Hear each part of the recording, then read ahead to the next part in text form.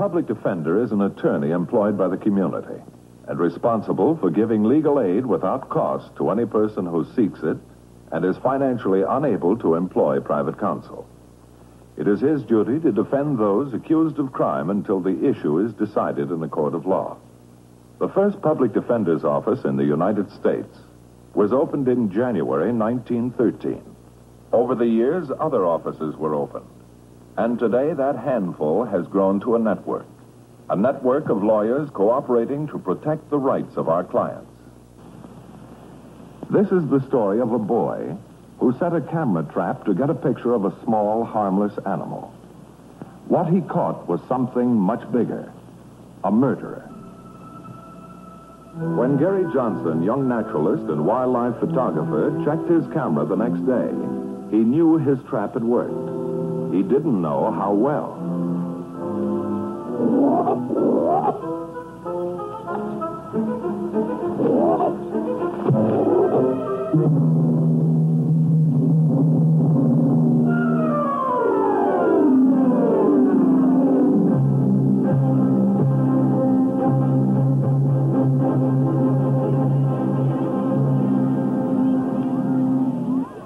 Mr. Sanders! Mr. Sanders, something awful's happened. It's, it's Miss Bascom. What about her? I found her over in the park. She's. She's dead. Dead. Are you sure? Come on, quick. I'll show you. We'd better notify the police. Did you know this girl? Yes, I, I knew her. We were engaged to be married. Had you set a date yet? Oh, not exactly. You see, I, I've been a little financially strapped, and we've been putting it off. Hmm. You didn't happen to be with her last night. Yes, I, I was with her. We went to a movie, and then afterwards, it was such a nice night that we decided to go for a drive. That's interesting. Where did you drive to? Well, we, we we drove through the park here. You'll have to come with me, Mr. Sanders. What for? I think the captain will want to have a talk with you. Mr. Sanders didn't do it. He couldn't. Why couldn't he? He just couldn't. He's the best teacher in school. He's my best friend. And he wouldn't hurt anything or anybody. Thanks, Gary. You'll probably have your chance to tell all about Mr. Sanders later in court. All right, let's go. At the preliminary hearing, I was appointed to defend Sanders. He couldn't afford private counsel. Now, Gary, would you words, please? Exactly what happened the day you found Miss Bascalotti? Well, sir, I collected some insects. And then I checked my camera. You see, I was trying to get a flashlight picture of Procyon lotor. Now, that's a raccoon. Thank you. Do you always use the Latin or scientific names? Oh, most of the time, sir. Uh, Mr. Sanders, our general science teacher, says it's the best. Did you get the picture, Gary? I got something all right. Of course, I couldn't tell what it was at that time. But I knew that some animal had grabbed a bait and set off a camera and taken its own picture. It's neat the way it works. I learned the trick from Mr. Stone. Will you tell us what happened next? Do I have to talk about that again? I've already told everything. The judge wants to know, Gary.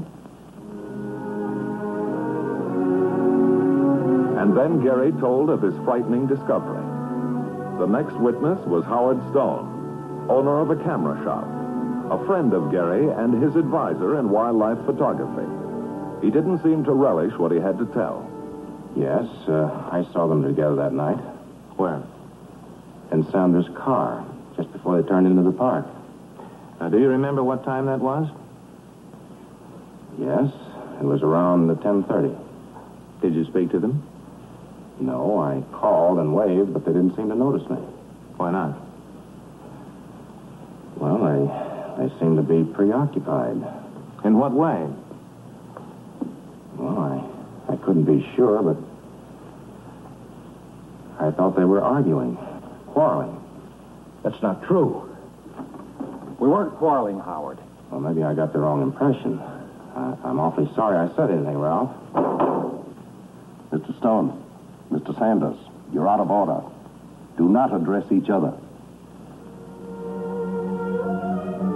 As a result of the preliminary hearing, Ralph Sanders was held for trial on a charge of murdering his fiancée. I, I don't understand it. Why should he say we were quarreling?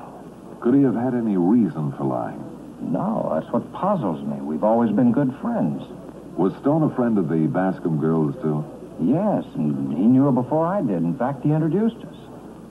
Oh, I didn't know that. Well, Howard and June used to go together. Oh, I guess I should have told you that before, Mr. Matthews. You should have. What happened to that romance? Well, I'm afraid I did. It was just one of those things. Sometimes those things can be quite important. Oh, no, no, no. It's nothing like that. Howard's a bright sort. He's a he's a good loser. Right sort. Well, Howard Stone and I are different. I'm not a good loser.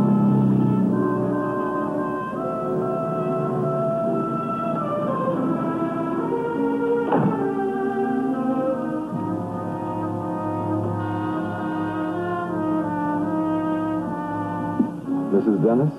Yes? Uh-huh. I'm Bart Matthews, Public Defender's Office. May I ask you a few questions? Oh, certainly. Is anything wrong? No, nothing to be alarmed about. Do you have a tenant named Howard Stone? Oh, yes, indeed. He lives right across the hall. Well, do you know him personally? Anything about his habits? Oh, of course. I make it a point to know all my people. Mr. Stone's awfully nice, quiet, regular with his rent. He runs a camera store in town. Yes, I know. Uh, did you see Mr. Stone on the night of the 16th? Last Friday? Friday? Friday. Oh, that's the night I was reading such a good book. Mad Love. I just couldn't put it down. And I'm usually in bed at 9.30. Yes, but As I said, I couldn't put the book down, so I did hear Mr. Stone come in. do you remember what the time was? Well, let's see. Anthony had just grabbed Caroline and pulled her toward him when Mr. Stone interrupted. I, I mean, he came in. I see, but do you remember what the time was? Yes, I glanced at the clock. It was 10.30. Well, that checks. Uh, thank you very much. Oh, Mr. Matthews, Yes. there was something else that happened that evening. I don't imagine it's important, but it was a little unusual for Mr. Stone. And what was that? Well, as I said, I couldn't put the book down, so I did hear Mr. Stone go out again around 11 o'clock. I suppose he forgot some cigarettes or something. And did you hear him come back in again? No, no, I didn't. Shortly after that, I finished the book and went to bed. Thank you, Mrs. Dennis. You've been very helpful. No, not at all.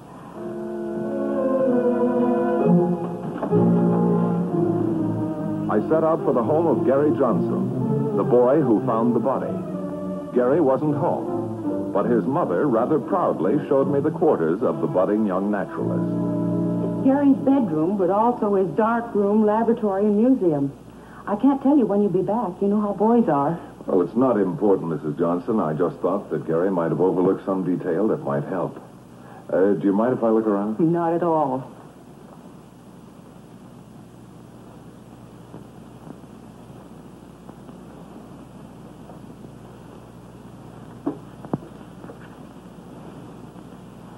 Gary does all right with the camera.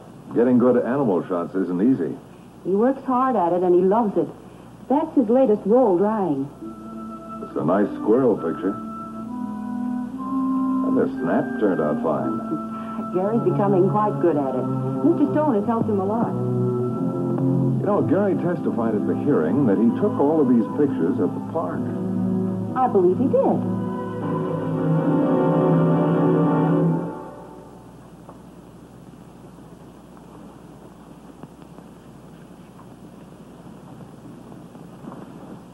Think I'll be going now, Mrs. Johnson. I'm sorry Gary wasn't here.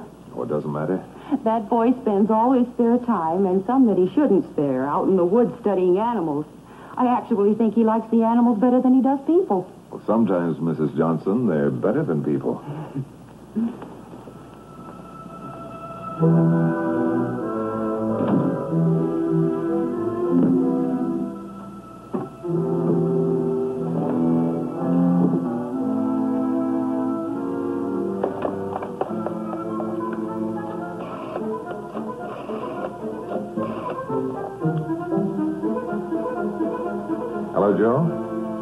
Bart Matthews.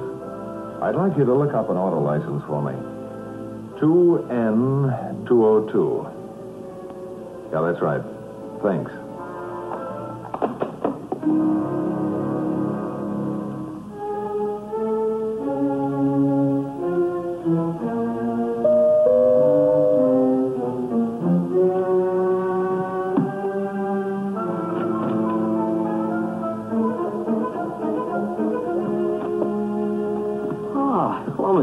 Stone. I'm glad to see you. Same here, Gary. I thought I'd drop by and see how you're doing with your photography. Your mother out? Yeah, Mom's gone marketing. Hey, come out of my room. I Think I got some good shots. I'm anxious to see them.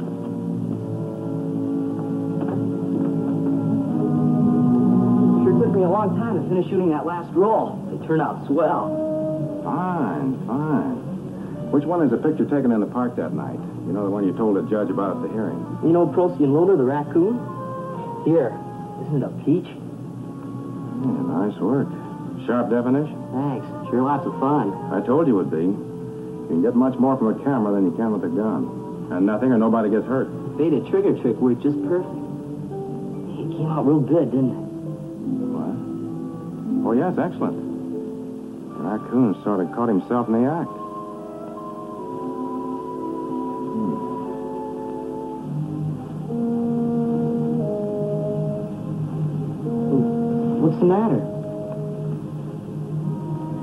That raccoon, uh, Hey, I didn't see that on the negative. Why, I can read the license number. 2N202. raccoon took a little more than his own portrait. Too bad. Is it? Why? Because the car in the background spoils the effect. Takes away its natural woodland atmosphere. Gary, this shot could have been a prize winner. Gee, that's a shame. Has anyone else seen this picture? No, I just printed it this morning. Where's the negative? Right here. That'll be very simple. You can take it down to the shop and retouch the car right out of that picture. Then you'll have a real chance in the photo contest. Come on, let's go. Oh, wait a minute, Mr. Stone. I have to do it myself. The contest is for amateurs only. That's right, I forgot. Well, at least I can show you how it's done. That'll be ethical. Gee, Mr. Stone, that'll be swell. If I could win the photo contest, I'd be the head guy in our class. You sure you can spare the time to show me how to fix this negative? Sure, Gary. I've got all evening. And, uh, well, you're my favorite pupil. Gee, Mr. Stone, thanks a lot. Forget about Gary. Come on, let's go down to the shop and get the job done. The sooner the better. I'll take care of that. The boys must have been pretty busy. It took them a long time to run down that car license number. It was nearly six, and I was almost ready to call it a day.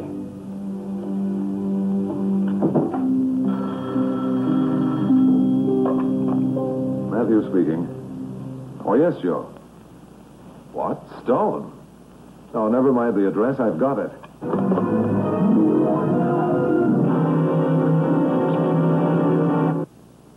License number 2N202 was registered in the name of Howard Stone, ex-boyfriend of the murdered girl. I lost no time in getting to his place of business.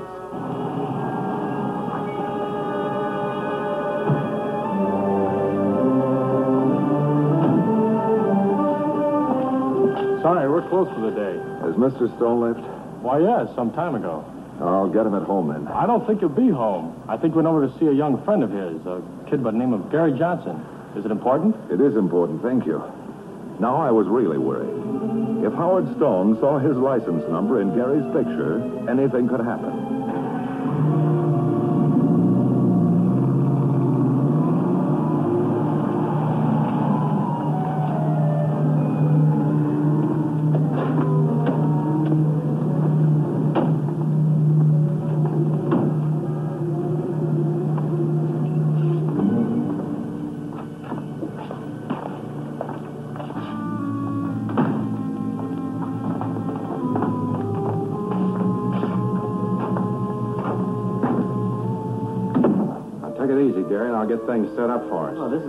Keen. I've always wanted to learn about retouching. Just a second and I'll show you how it's done. Let me have the pictures.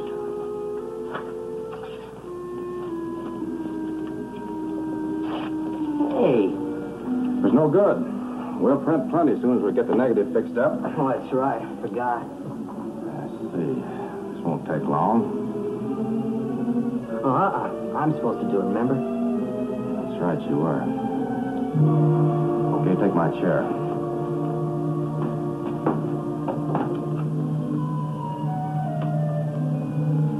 Two N two oh two. Funny number. Sounds like TNT. Now, never mind that. Here, let's start with this etching knife. Mm-hmm. Yeah. Have to work very carefully. Before we're through, we'll make that car get lost just like magic.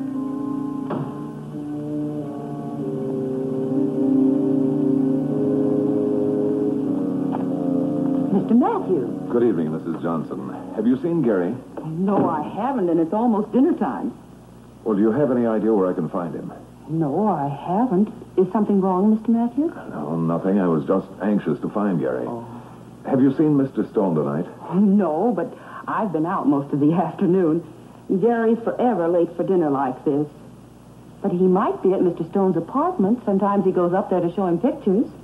May I use your telephone? I'll call him. Yes, right over there. Thank you.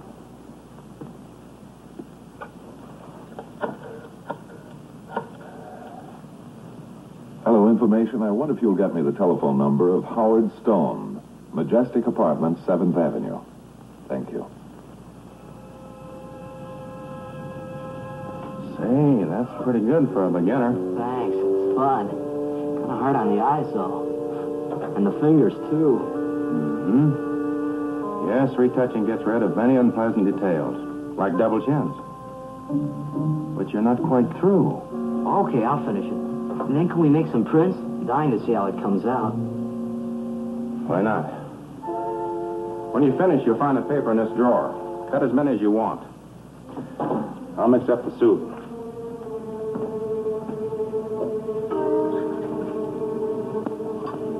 I can imagine what's keeping Gary.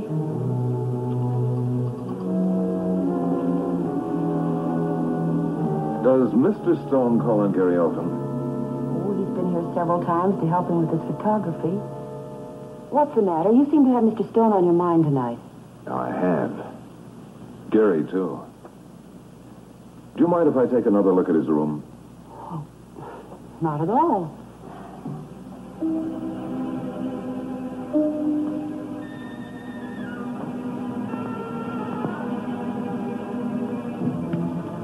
Just like it was this morning. Looks like Gary's been home since I was here this morning. He's taken his negatives down. I haven't noticed. I haven't been in his room since I got back from market. It's gone. I don't like this. Mr. Matthews, is Gary in trouble? I hope not, Mrs. Johnson. I hope not.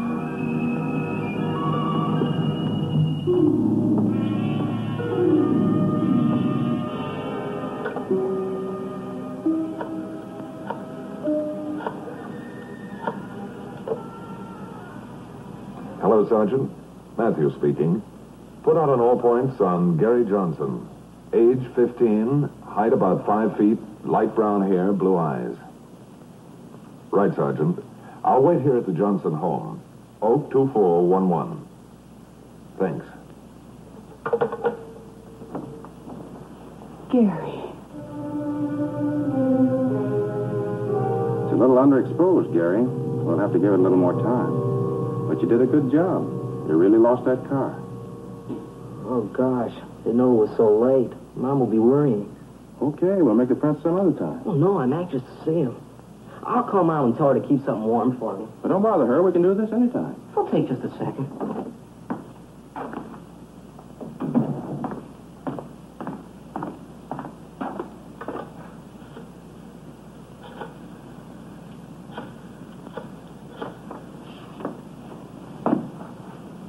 Hi, Mom. I'll be a little late.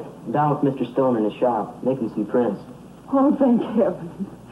Mr. Matthews is here and wants to see you right away, so come right home, Gary. Okay, Mom. I'm sorry I worried you. I'll be right home.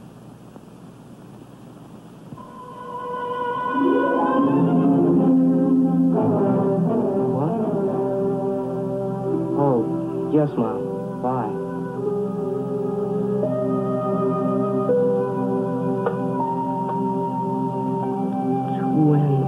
202. He's all right. He's coming right home. Where is he? I should have known it would have something to do with pictures. But where is he? Well, he's, he's busy with some darkroom work at the shop with Mr. Stone. Stone?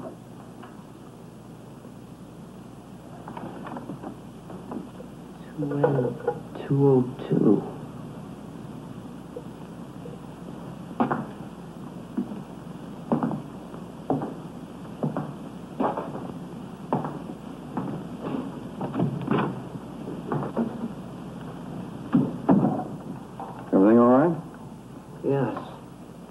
Mean, I don't know. Two N two oh two.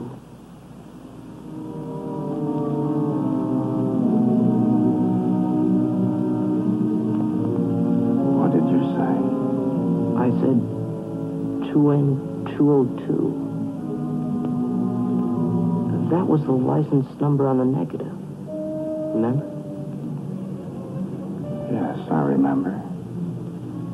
I just noticed your car license.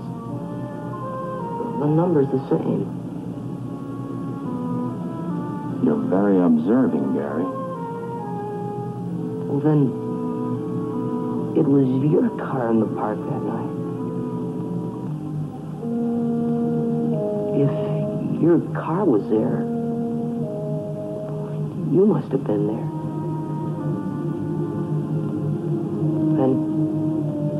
Did. You killed her. And I know why. Why, Gary?